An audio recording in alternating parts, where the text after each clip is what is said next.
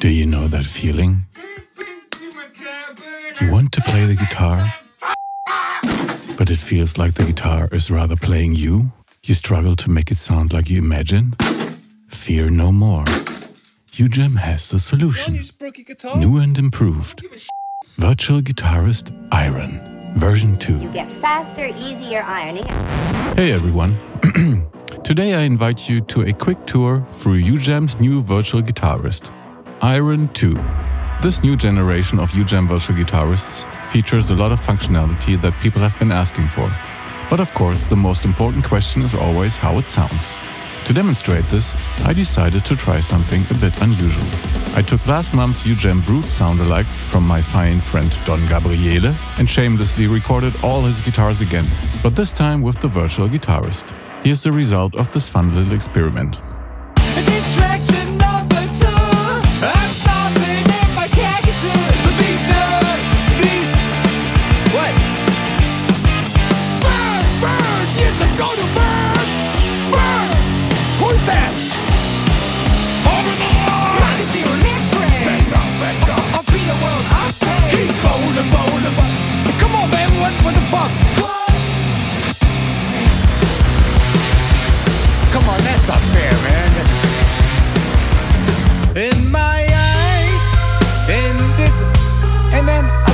Guitars, man?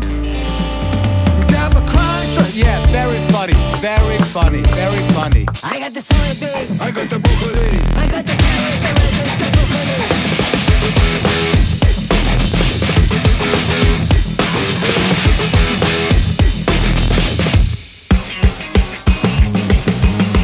What I got, you got to give it, don't get this shit around, man. Forgot my mask. So let's take a closer look at the features. I'm not exactly sure how to put this, so let's just say that this new generation of virtual guitarists is, well, a lot more intelligent. This is not a collection of slices that limits you in what parts you can play. This thing can follow voicings and inversions. It will play power chords if you just press a key. It will play fifth only power chords if you add a fifth. Play an octave and it will riff on just the octave. Complex chords, no problem play any interval you like and it will play those. Yet while doing all this, Iron 2 is always aware of what's possible on a guitar and what is not. Like in this example of descending intervals, it understands that you can't play an E and a G sharp in that same range because the E string is already busy playing the E. So the G sharp will automatically go up one octave. This kind of awareness of what string can play what in which combination makes Iron 2 behave very naturally, no matter what you throw at it. Of course, you have a huge archive of styles, you get all the typical micro timing settings, humanize, swing, and feel controls. But as with other current UJAM plugins, you now also get drag and drop. These play technique triggers will then follow whatever harmonies you play. This also means that you can now essentially create your own styles, since you have access to all the individual playing techniques.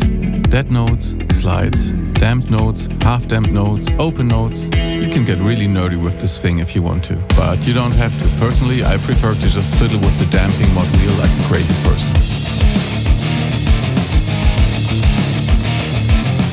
Maybe you're more interested in the sonic abilities. You can double track the guitar, of course. This knob will change timing and attitude, making the guitarist play more chunky and dirty. It's not a DSP effect, but actually influences the samples being played. This knob offers a seamless crossfade between different pickups. This knob influences the tone, much like picking further away from the fretboard. There's 5 amps with drive and focus tone controls. Or if you do have your own favorite amps, you can have a completely unprocessed DI signal.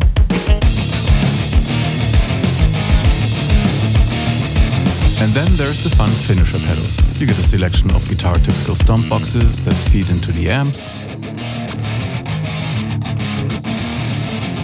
And you have a post-amp finisher section that ranges from sensible guitar mixing all the way to extreme and outlandish effects where you might eventually forget that this was based on the guitar at all. Or use it to generate modern slice guitars.